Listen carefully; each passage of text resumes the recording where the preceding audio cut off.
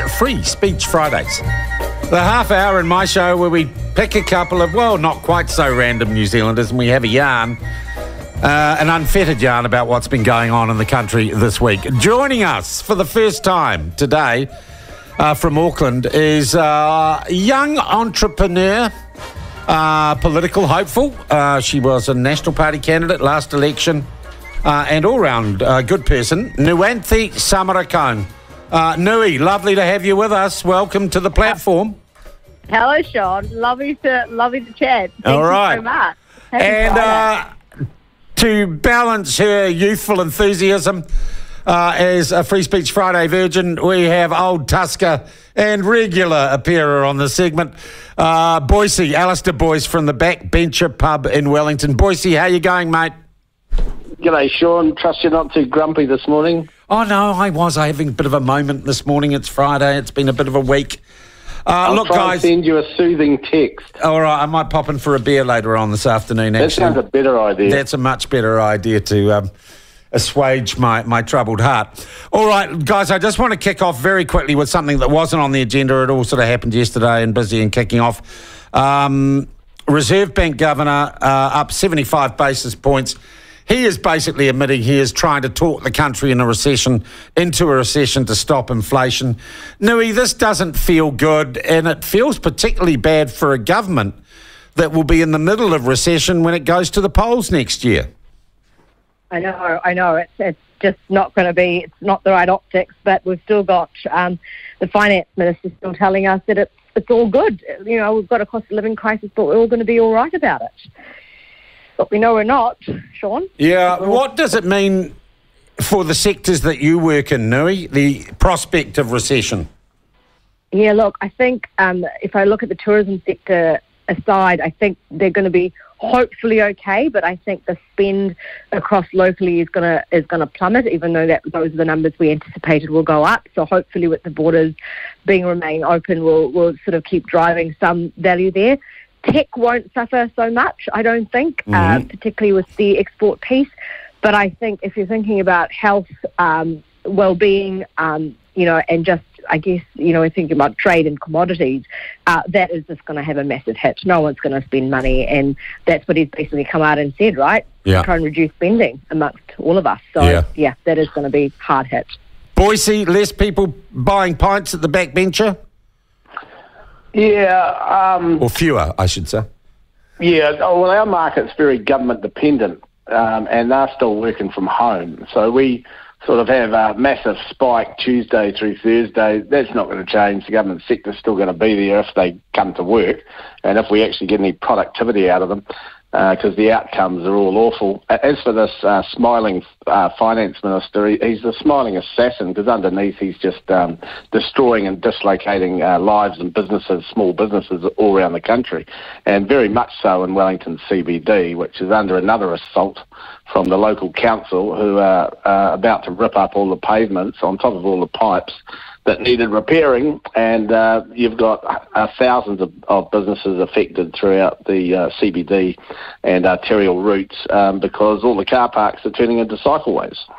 Yeah, it took me an hour and a half to get from my home in Evans Bay Parade to the waterfront um, to the Portrait Gallery last night. It was ridiculous, all because of roadworks. Yeah. Um, all So that's going to get worse, Sean. Yeah, but I'm presuming none of us are going to have to really sweat over our mortgage repayments during the time of recession and while interest rates go up. But we're not probably, let's be frank, we're not like the average New Zealander who is going to do it tough, Nui. Well, Sean, th- that is right, and it's also wrong because if you, if I mean, I still go when I go to the pump. I mean, I've got a hybrid, and it still costs me a lot more, fifty dollars more than it used to cost me. And you sort of look at that and you think, you know, the optics of it, sure, maybe at the surface, but it does all start to add up. And Yeah. I think the biggest crunch here is us not being able to spend on things we want to spend to keep fueling the economy. Because, you know, when we start to reduce our spend, um, it's going to start hurting the other businesses that would normally be supporting us and with, with, Yeah, I- whatever. it I might be. get you. Yeah. And I think the building and infrastructure space is going to really get a slam now. Yeah.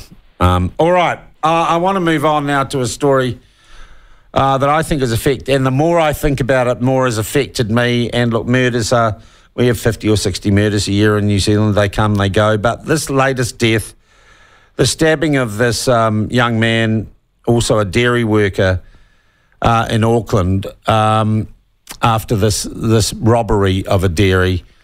I don't know. It just seems to me to focus all the general concern we've had about law and order, lawlessness, the issue of boot camps, what to do with young offenders, the ram raiders. It's all come to this horrible, horrible punctuation point, Nui. And I don't know. For the first time, I do feel hawkish and angry about the state of crime and law and order in this country.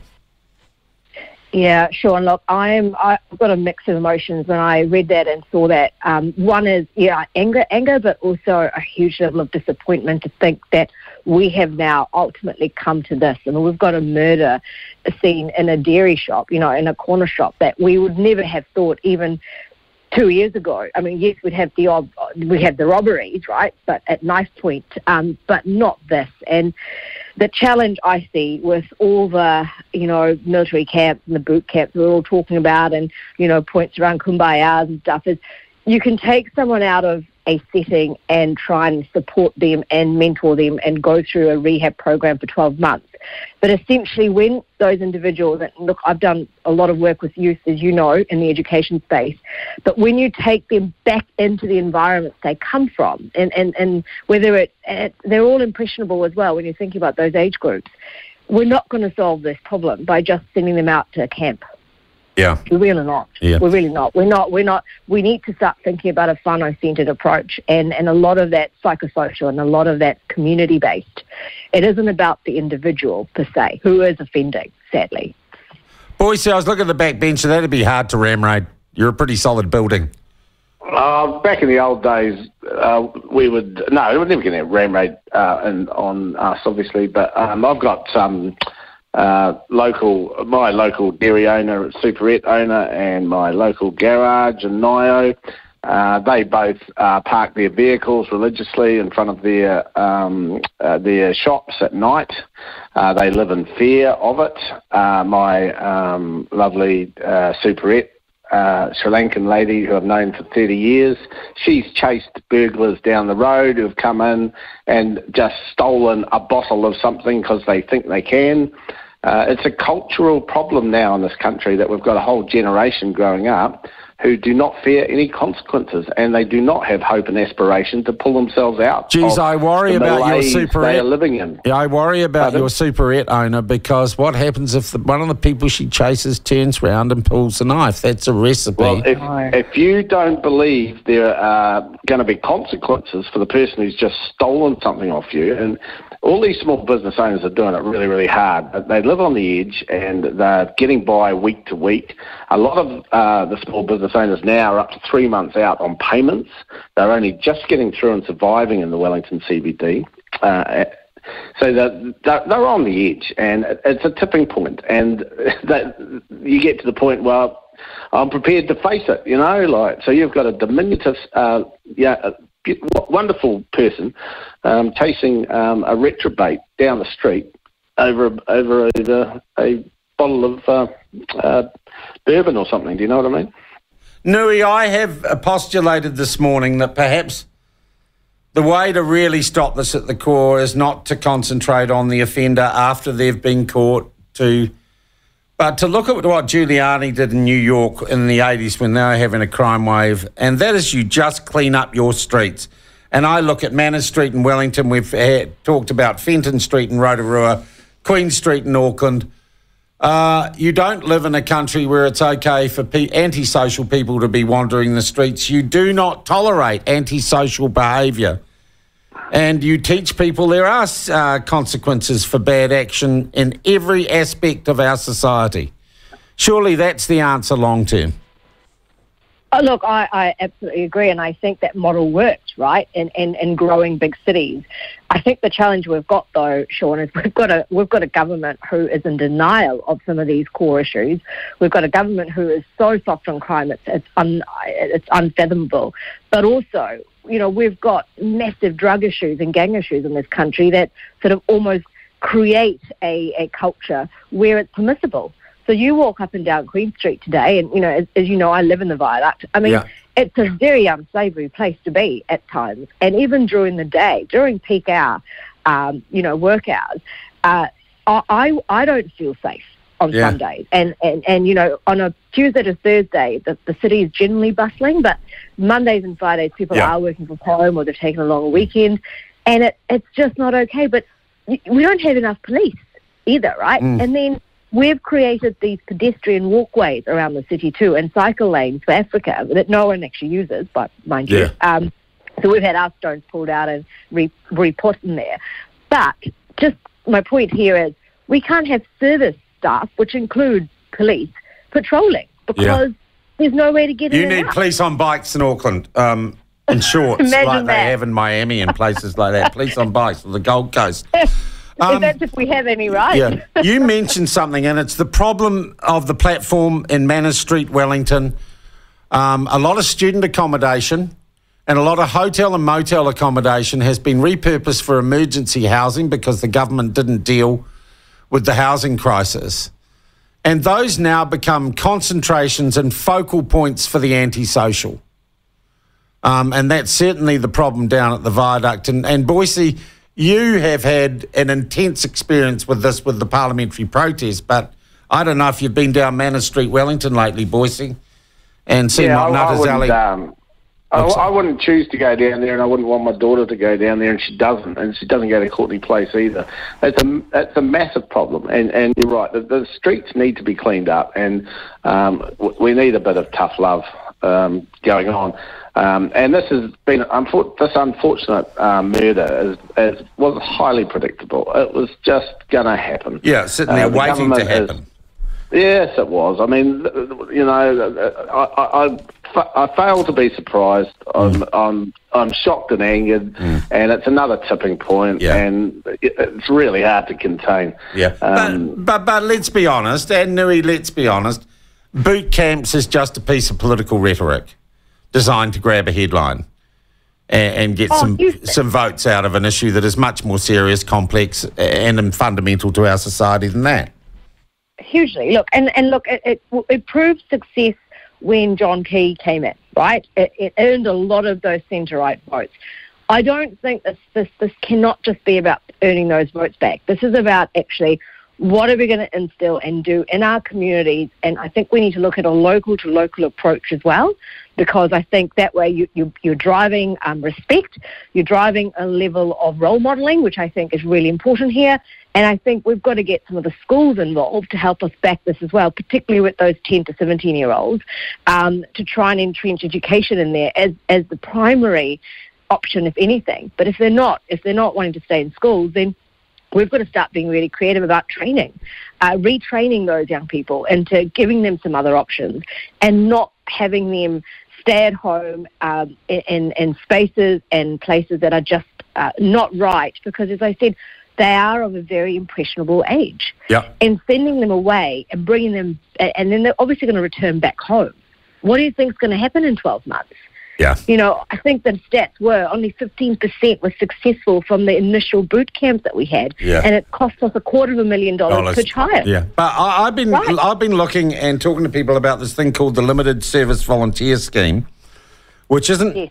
necessary for people who have fallen foul of the law. It's more like a fence at the top of the cliff. And boy, the people I, I've talked to who have taken part in it, and the people I know who have been involved in it say it's awesome for identifying at-risk young people or people who are just you know starting to go off the rails. It's a six-week course. And apparently, it really does work. It's changed people's lives. And I really like the idea of that LSV scheme um, being used a little bit more. And the idea, surely, is not to put criminals back, uh, young criminals, on the straight and narrow. It's to stop them going off the straight and narrow in the first place, isn't it? That Yes, really should be the should should be the aim. Uh, all right, and look. taking Yeah. and taking their families along with them as well, Sean. Yeah, look, I, am going to I'm going to be brutally honest. I, you know, I grew up uh, in Porirua with a lot of people. You're never going to get their families along. Most of them were doomed, and the best way to, thing to do is get them away from their bloody families. Um, well, then going to find to stop them from returning, though, right? yeah, yeah, that's right, that's right. Um, look, the other issue that's been kicking around, we've having, been having, well, not great fun. We've been committed to covering it. Is three waters reform, which have now then came back from a select committee. It's now five waters. They've gone from co-governance to a limited form of sovereignty for Maori over water assets under certain circumstances. And all this has been so concerning to the Prime Minister. It's still going to get passed under urgency, but the bill is being redrafted during the urgency process. There seems to be a pathological desire to pass this legislation, no matter how bad it is. Uh, I can't quite understand that obsession.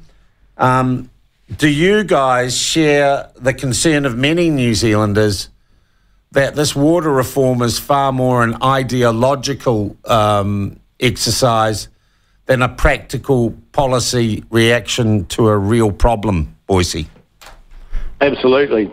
Um, I've got a few major concerns here. It is patently obvious if you follow the timeline of the interviews last Monday that the Prime Minister uh, the Deputy Prime Minister and Megan Woods had no idea of the uh, inclusion after the sub uh, after the select committee process of geothermal, and uh, it looks like we have got another foreshore and seabed uh, water debate coastal, on our coastal hands. waters. Yep. So um, that's been included under stealth, although Mahuta's always said that that's been her plan, and, and Willie Jackson signalled the whole thing as soon as Winston was out of the way, that they were waiting for Winston to get out of the way. Uh, it, it's a hijack and it's a coup and it's a seed of sovereignty. It's the most divisive thing that's happened in this country since the Springbok tour. Um, and it's not good. It's uh, so in those submissions to the select committee, the 88,000 su- submissions. Um, Nanaia Mahuta discounted 80,000 submissions because, in her words, they were only one page long and they were basically all the same. They were all the same because they said no, and that's dismissed in her mind. Absolutely incredible. And and the other ones that were more than one page long, oh, they must contain something of substance, not just a straight dismissal. That is the rationale of this government yep. in regard to democracy. Yeah. Nui, do you think the person in the street, do you get excised about this or not? Good question, uh, Sean. Yes and no. Look, I think the most, um, I think the most annoying and most frustrating factor in all of this is I always knew, and I think we always knew that this was going to get, you know, rolled across regardless of what people felt, what the submission said, what the select committee was going to do, and obviously you know, tweaking the legislation now, uh, even whilst it's all under urgency, to just get it done before Christmas um, is, is, just it was always on the cards, and I, I, I sort of almost feel like you know we can we can debate about it, but the prime minister and her caucus just want it done, and there's obviously some jobs lined up for people to take this forward in January. Uh, there's money allocated as part of this ideological idea that this needs to happen for the country, uh, and it's all set up. It's all, you know, everything's being put in place. Yeah, so we can't let pesky old democratic process get in the way of that, can we, Nui? It's almost like democratic what? hey, guys, finally, I think the most significant story that I've come across this week though it is actually three or four weeks old, just mainstream media haven't really uh, bothered to report it. The United Nations, the United Nations has halved its climate warming predictions for to the year uh, for, uh, by the end of the century. They've halved them to maybe, they say, 2.5 degrees. Suddenly, the world is not going to end in an apocalyptic fire. Suddenly, even the UN in its own reports is saying we should now move our focus to mitigating and adapting to the not quite so extreme levels of climate change uh, we predict we might undergo. I've sat there and looked when data, and I mean, Al Gore's predictions are now just so far off the planet, it's not funny. And I just wonder, um, guys, if it's not time that we really sat and had a cup of tea and a little bit of a break and a bicky and thought about just what sort of damage we're doing to our economy, to our farmers, to all sorts of sectors in pursuit of, a poli- of policies that may not even be necessary, Nui. Yeah, look, I, I, I had to uh, when I read that when it came out, I did have a bit of a chuckle. I have to admit, Sean, because it was like, really, we've got we've got to this point now after all this um, all this reporting, all this this whole push, really, but also the push. And, and, as you said, let's take a break, have a cup of tea and a bicky, and and let's sit down and work out what what it is that we're destroying. Yeah, I mean, there's no the proof, Louis, by the way, no proof that anything we've done has changed it. Just the data hasn't been borne out by the uh, you know, uh, apocalyptic predictions of climate change scientists. No, not at all. And the irony is, when I read that, you know, what really hit me was the fact that this modest prediction is now based on a business as usual policy environment, right? And what that makes me start to think about is, well, in, in that fact, what are we been trying to drive in the next 18 months or two years in New Zealand alone, that's going to actually cost us millions and possibly billions of dollars in the next five years if we try and just ram through things based on what we initially thought was going to happen. And, and or based on the predictions. Yeah, and, made. and Alistair, I think we just need to revoke all those stupid local bodies that have got climate change emergencies need to revoke them, and the government needs to revoke its climate change emergency. Absolutely. We've got to start again. The, the emissions tax on the rural sector's just got to be gone. And uh, we've got to re-promote our rural sector and our, and our efficiencies of farming and food production that the world needs. Uh, they're, they're, changing of their own accord. Um, I, you know, I, am like everyone else. We don't want unnecessary pollution in the environment. Provide the market with parameters don't use these ridiculous incentives like subsidising Tesla cars. The electricity infrastructure can't even cope with um, the plethora of um, charges going into people's homes. The grid won't cope with it. We're, we're building pine, pine plantations uh, on the upper levels of our country that suck out all the water so that hydro as well as farm irrigation is being starved. That's incentivised. It's eight to nine times more profitable than marginal farmland, which uh, could uh, grow and uh, have production of food for the world. Uh, we've lost sight of the fact that human beings inhabit the world and their health and well-being um, are absolutely paramount in relation to the whole equation. The equation has been debunked. Um, the mainstream media are totally culpable for not just report, they should just be reporting the facts. And then their narrative has to change. Their narrative is appalling. We've got a generation of children, I've got a generation of workers who are, are scared of the world. They think it's coming to an end. Uh, they're all riding their bikes and um, they have no hope of uh, entering our, our socio-economy on the basis of buying a home or participating at any greater level. And we wonder why they don't want to turn up to work. We wonder why they do ram raids. And we wonder why people are now getting um, murdered in the streets. I hear you. We need change. Yep, we do. Guys, I want to... What a good session. Nui, you've done excellently. We'll have you back, I think. I think we go, yeah, that's good. Uh, any random thoughts from either of you at the end of the week? What got you going this week, Nui? Oh, I think it was the OCR hikes and the, and the boot camps. I think, Sean, which yeah, um, yeah I think it yeah got me going for a bit there. All right, Boise. Anything else that has outraged you? I'm outraged uh, permanently this week. I'm outraged by the murder of a small business worker. Mm. I'm outraged by the fact that the mainstream media uh, can't report a fundamental um, and major change of knowledge from the UN in regard to climate change. Yeah. Uh, and I'm outraged by the fact that our Prime Minister, Deputy Prime Minister, and uh, Megan Woods have no idea what's in the legislation or what's about to be passed through Parliament under urgency. Good. So I, I'm in a permanent state of purple outrage. I couldn't have said it better myself, which is why I had both you on today. Uh, Nuwanthie Samarakone and uh, Boise from the Backbencher Pub, uh, our Free Speech Friday panel.